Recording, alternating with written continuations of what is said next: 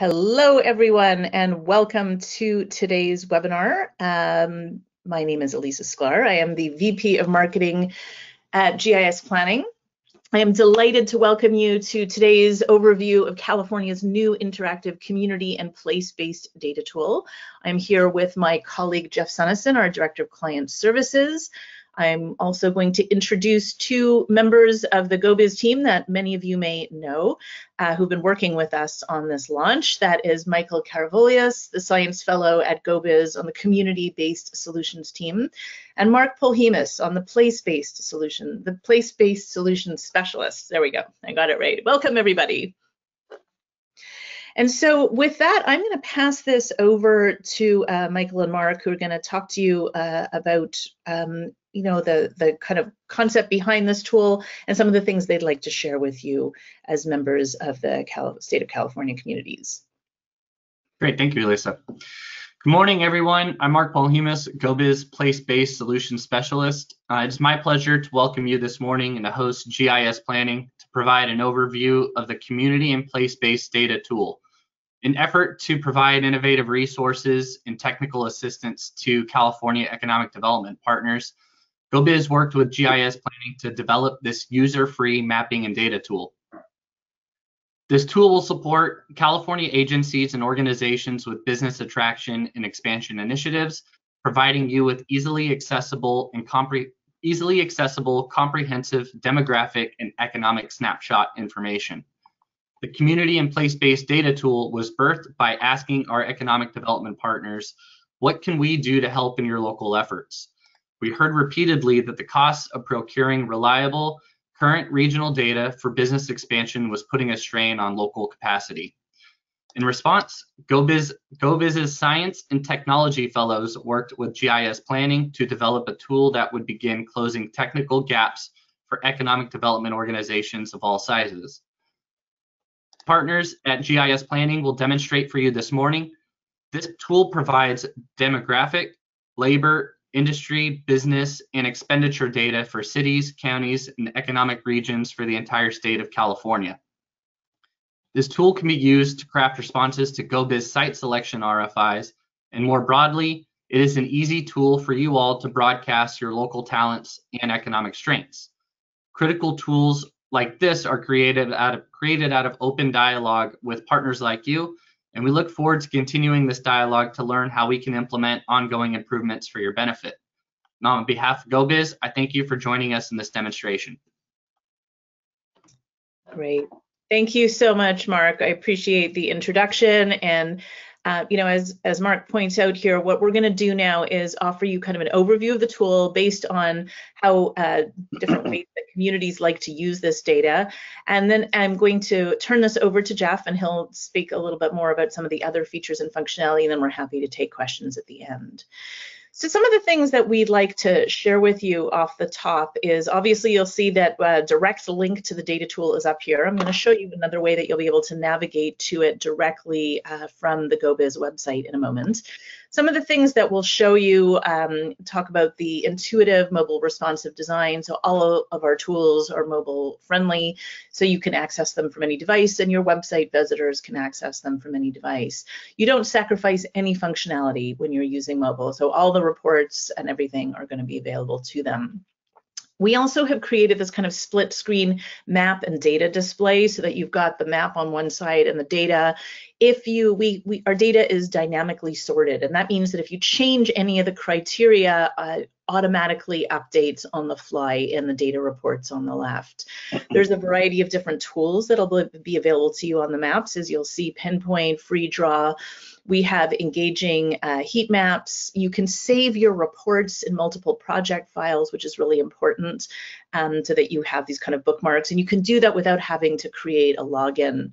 We also have a polished report design. They're really beautiful and easy to, uh, to share. And that share piece is a, a really big part of this as well, because we want you to be able to share the data and analysis that you're doing in a variety of different formats depending on your needs, whether this is about business development or sales, uh, marketing, place marketing, any of those things. So with that, I'm going to take us over directly into the tool. So this is what it looks like when you open the tool, as you can see. Um, but before I start exploring this with you, let me bring you back over to uh, the main website for GoBiz, just so that you can see. If you enter the business.ca.gov site, you can also find the tool by going over to apps and then scrolling down and you'll see it over here. So those are kind of two ways into the tool itself. Now, when you get to the tool, you'll see that there is this dialog box that opens and it allows you to begin if you want to by searching for a specific city, a specific county, or any of the specific custom regions that we have added in that kind of bring you directly into there. You can also minimize this and just go into searching the tool on your own if that's something that you want to do. So let's start by picking a, uh, you know, just a different place that we can start looking through and you'll be able to see, I'll just pick uh, at, um, at random somewhat Anaheim. So that's where it's going to take us to. Now, when we open any of the reports for any of the cities or counties or regions, this is the page that you're going to begin by seeing. It will have an interactive infographic over here, which captures some key snapshots about the community. Um, and you're going to see the map on the right hand side as well. At any point in your analysis, you can change location by clicking over here where it says change location. You can choose to switch over to any other city, county, to the state as a whole, or to any of the custom regions. And there's also, you can, you know, start typing it or you can select it from the list as well. So it would be interesting then, we're just going to use, since I have Anaheim open up over here, you can see that you can start by uh, exploring those key data points. Now, if you are using these for any reason, if you are looking for social media posts or e-newsletter content or something to put into a proposal, these things are easy to download. If you look at the three little dots on any of the blocks over here, that means that you can download that image by clicking it. It can then download and it'll go over to um, into your computer. You can then use those images as PNGs uh, or JPEGs as you would like. Now, the, let's look at the different reports that we've got over here for you. So we'll click over to demographics you can at any point, if you're wondering where is the data from and when was it updated, at the bottom left of all of our reports, you'll see the citation. So you can see that we get our demographics data from Applied Geographic Solutions, which is, uh, and that it was last updated in 2021. Jeff, when are we scheduled for the next update on the demographic? That update is, will happen in the next month, I believe in the next month. Okay, so at that point you'll see 2022 down there, and we we update that twice a year. Right. You also, oh, just like I can jump in real quick. Yeah, that we updated in usually in December and in June. So the June update is coming up. Uh, the December update, which is reflective of the 2021, is an adjustment for that June release date. So June is when everything rolls over to the next year. Excellent. Okay, thank you. Now, the nice thing about this is an interactive visual content. It helps you visualize data. So if you want to see how, let's say, the 20 to 29 year olds fall across the geography in an area, you can click that on the over here and you'll see a thematic heat map over here. It's granular, so you can actually drill down. You can go from zip code to block group. And we also have activated for people who have um, visual, uh, different kinds of visual issues or um, disabilities that people who have, let's say, color blindness, these patterns and colors are different ways to produce a theme, theme thematic heat map that people with uh, color blindness could still be able to see. I know that's becoming um, more of an issue um, in meeting um, uh, criteria for serving populations with uh, different kinds of disabilities. You can also view the data as a chart by clicking over here, going back between table and chart. And as I'm going to show you on all the different reports, is we've built in really dynamic sharing options for you. So at any point you can download as a PDF if that's something you want to do. Some of the reports can be downloaded as Excel. You can also print. And this share button is what I think of as our place marketing superpower. So whatever community you're from, you can directly share, and this is going to share this instance of analysis. So I have selected 20 to 29 year olds for Anaheim. That can be sent to someone by email you can share directly onto social media if you want. That will open up that, so you can have a social media post that allows you to, to share that from there. Or, and I think this is actually one of the strengths of this tool, is you can grab this hyperlink. So you could have a link on your website, in an email newsletter, in a document, in a report, anywhere you want that will take people back to this exact instance of analysis. Now, this is going to be true for all of the different reports because we really wanted to help people capture that analysis.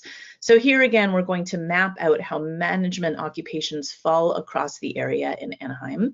And I can just open this up if I wanted to look at specific, let's say just chief executives in the area. That's something that I can map out here as well um, and allows us to do that. Now, the occupation data, I believe, is from Emsi. This is one of the questions that we often get. Where does that come from? So you'll know where that is. Um, establishments is another report that you have over here that allows you to, to get more information about the businesses and organizations in the area. So you have all kinds of information about how these things might fall across the area. So if you're looking for, you know, food manufacturing, in the region. We can heat map by density and you'll be able to, to kind of dive in and look a little bit more closely. Um, again, you'll notice that we can always do this uh, sharing with the share button over here. Consumer expenditures is something that we see a lot of interest, especially related to retail. Um, the businesses in your area might be interested. This is data that a lot of small and medium-sized businesses cannot get on their own. Obviously, putting it on this tool makes it available to them 24/7. So they can get a lot of interesting information about suppliers, about competitors. Um, they can learn, for example, how much people in Anaheim spent on women's clothing in 2021. Um, we could uh, drill down and click on any of those blocks and you'll be able to get more information about what that looks like. So really useful information to many of your stakeholders, especially the existing businesses in the area. And there's a lot of variables here, so you really can explore this with um, with a lot of uh, a lot of detail. Uh, the business map over here is going to help us map out all of the businesses in the area. That's a lot of dots. There's a lot of businesses uh, in Anaheim. So you are going to be able to, to zoom in if you want to. Every one of those dots represents a specific business. Now I find it a little bit dizzying when there's a lot of businesses. So you could turn that off. We can then go in and explore specific businesses. So let's say I was really just interested in looking at all the attorney offices in Anaheim. By clicking this, I'm now able to see those uh, mapped out. And of course, we can zoom in more if we want to, you know, explore and see how they they fall across the area. I can actually go in and click on this and it will actually list by name every one of the attorney offices that are in there. We get this data from Data Axle. We have a constant uh, data feed with them, so this is updated all of the time. Um, the data is best, obviously, for urban areas, but this is human qualified data, um, and they work hard to keep this updated. And we know that this is uh, this is something that's very uh, dynamic and changeable, and so we wanted to be able to reflect that for you. Now, the last report that I'm going to show you over here is Talent. So Talent is going to show both the pro top programs and universities in an area, and you can flip back and forth between them. But one of the really cool things about this is, and of course, it's pulling from 50 miles around. In this case, we've selected Anaheim. Obviously, Talent drives in, commutes in in different ways. So we want to pull from the region. And we can then explore degrees conferred. So any one of these can be opened up and you could get information, for example, about registered nurses, where they're coming from, the different degrees that are conferred in those areas and, and uh, where those institutions fall. Again, this is really interesting, a lot of interest in workforce data and where talent comes from. So it's kind of a nice way to, to be able to track that. Um, as I said in the one of the initial screens, you can expand the map at different times if you want to be able to see the map a little bit bigger. We've got different pinpoint tools, so depending where you are, I'm going to go back to demographics for a moment. If you want to drop a pin and do analysis, you can just pick it up from here and drop it on the map. There is a measurement tool, for example, um, that allows you to uh, to show those on uh, on if you want to look measure the distance between two points, of course. Um, we can change the radius over here. We have miles, you can go up to 60 miles, but we also have a great drive time analysis here. And you can do drive time by car, by truck, or on foot. You can adjust it by date, by time of day. So if you want to see on a Sunday, for example, versus a Wednesday, you want to check out on rush hour and you can adjust by um, uh, day uh, to this location or from this location. So it becomes uh, possible to, you know, offer more interest in, in how accessible things actually are. Um, a couple of things that you'll see at the top here is, let's start with map layers. I'm going to go back to our main report.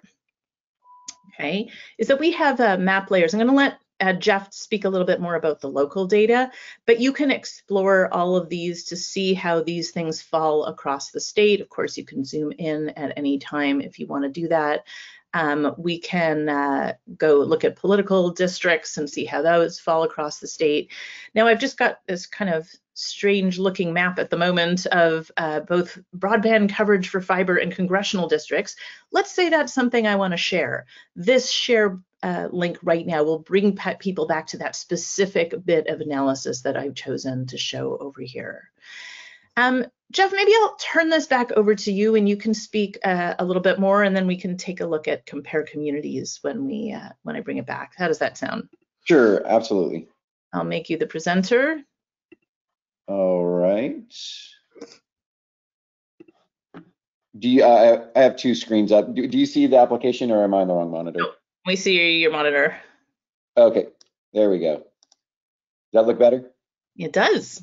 Okay, excellent. So you covered a lot of what I was, uh, you did an excellent job, Elisa, just mentioning some of the options for exporting those reports and everything. I know that was one thing I was going to look at. Um, but one thing, you know, I can mention here is with the, the map layers. So there's a lot of data in here that GIS planning provides, but also the, uh, the GoBiz team did a great job of finding additional data sources that we brought in here. The, now they're kind of mixed in currently. So under local data, this is something that definitely came from GoBiz, or at least um, they pointed me in the direction to get that. Um, so we have the ability to bring in really any type of map layer um, that's available. Um, so if there's anything that you think of that might be useful, I would definitely pass that over to the GoBiz team. And if they agree, they would send that over to us and we could add that in there. Now, some things we provide, so like the broadband data, that's coming from uh, from us through the FCC. Um, we update that as soon as they release that data. Um, one way to tell if it's a layer that um, is something that GIS planning is providing is if you see that it's a, a national layer. Um, all those layers that we provide are national based. Um, anything that's being provided just by the GoBiz team um, is something that was just covered uh, for California. So like under electric utility service area, again, these are all coming from the state and we're putting all these in here. Um, and we update these as frequently as needed. Um, energy data, most of these are all coming from us. This is just looking at different energy sources, you know, infrastructure, power plants, things of that nature. And a lot of these layers are very smart. So if I come in here and I, I click on this, and I want to know what one of these dots represents, I can click on that and I can get capacity. I can see the name of the plant. Um, I can see the source of the data. So we, we're, we're very open with where all that data comes from. Um, and then environmental data, things like flood hazard, recycling market zones, wetlands. Again, these are all data points that we've incorporated in here. Now, one important thing to mention is just like you can export all the other um, reports, you can also export these maps that you build. So if I wanted to come in here and maybe I wanted to show something like, if I go to incentives, and maybe I wanted to show, actually, let's switch to a different one here. Let's go to political districts. Maybe I wanted to show the Senate districts here.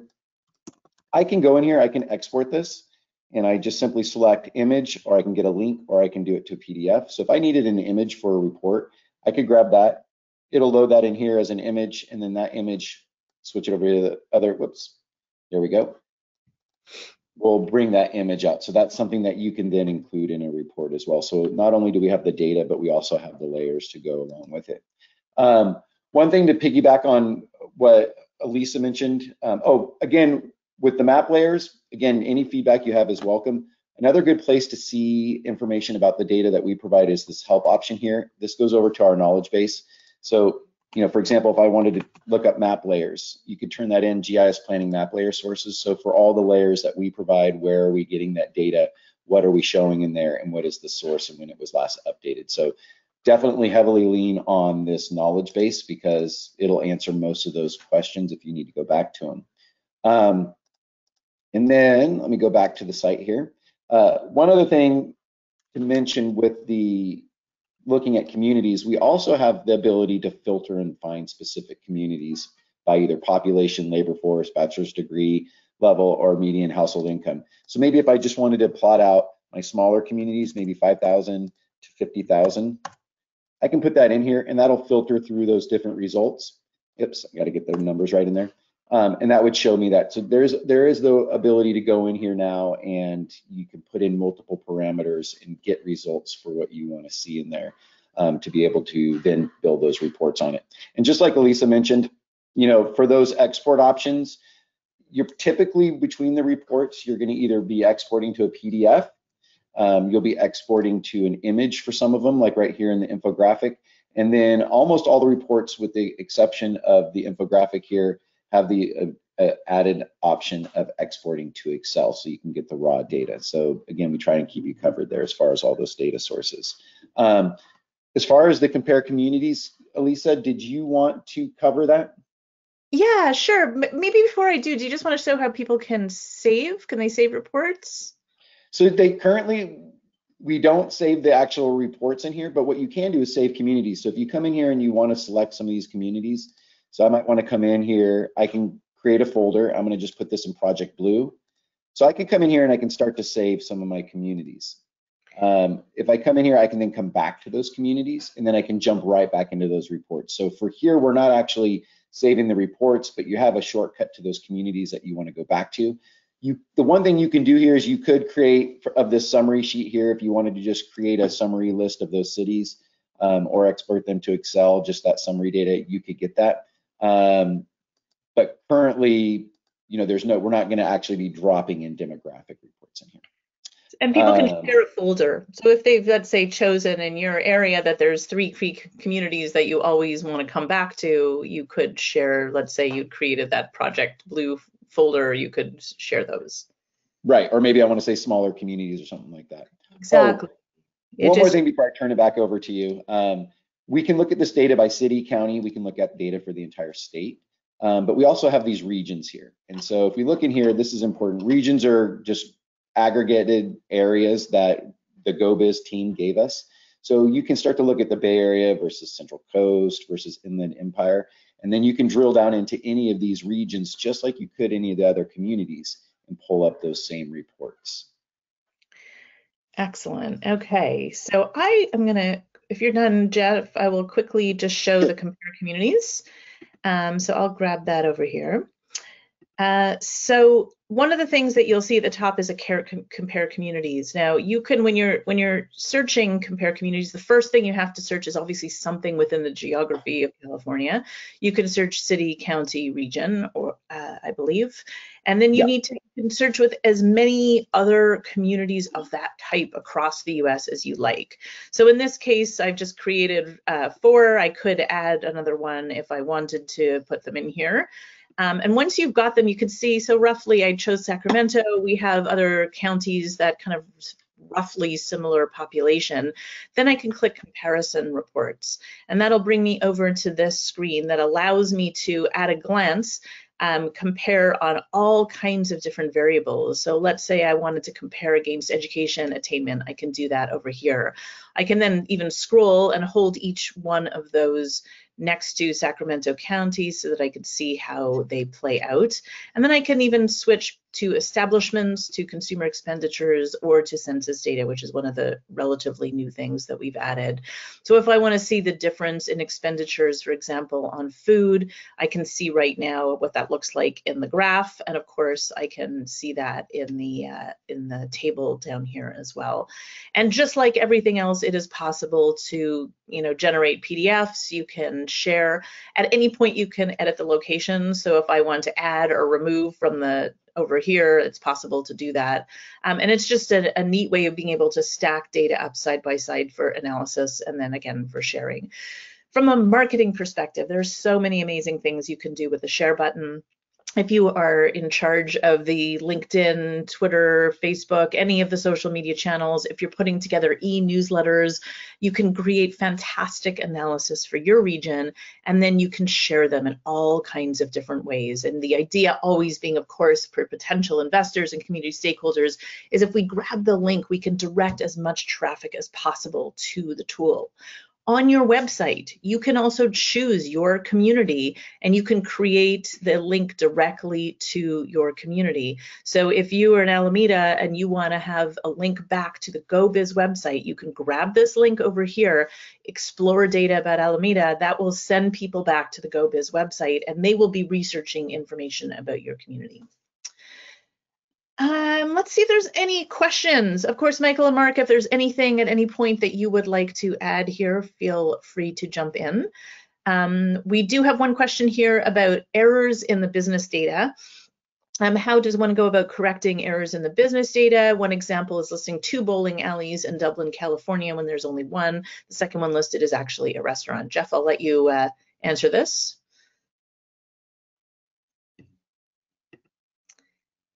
Oh, Jeff, you may have muted yourself.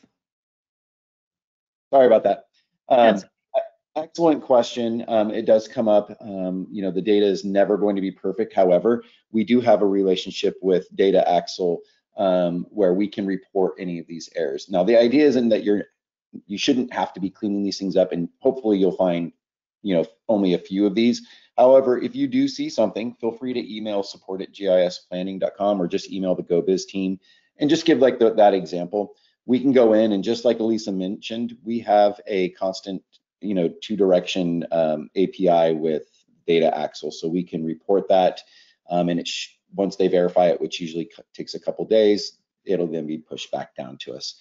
Um, so absolutely. Now, obviously, if it's something that just closed like last week, um, you may not want to feel like you need to report those things. But if it's something that's significant, that's been been there a while and not in there, or that's there and shouldn't be there anymore, absolutely feel free to um, to provide that information to us. Excellent. I don't see any other questions coming up here on the screen. Uh, Michael and Mark, if you have anything that you would like to add? Um, yeah, thank you everyone for attending. I am going to put my email and I'll have Mark put his email in the chat. So feel free to email or reach out to us if you have any suggestions of layers you want to see, any data that you'd like to see added, um, or just general questions at all. We're happy to send them and work with GIS planning. Excellent. So I've actually put the emails up on the screen. If you have any questions from the GoBiz and and you have Michael and Mark's uh, email addresses on there. Uh, for client services, Jeff, uh, I work individually with all of our clients to help them get maximum value out of the tools from a marketing perspective. Uh, we have tons of resources on our website under the Learn section, all kinds of webinars and blog posts and tip sheets on making the most of these things. But of course, if you have any questions, please let us know. It is absolutely our pleasure to be working with all of you. We appreciate you taking time out of your busy days to join us. We appreciate the work you're doing for your communities.